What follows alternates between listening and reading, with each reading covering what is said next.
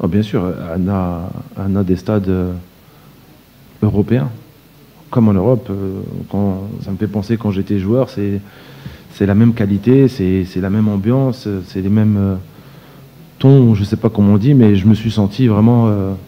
J'avais oublié que j'étais en Algérie pendant quelques instants, enfin pendant le temps d'un match.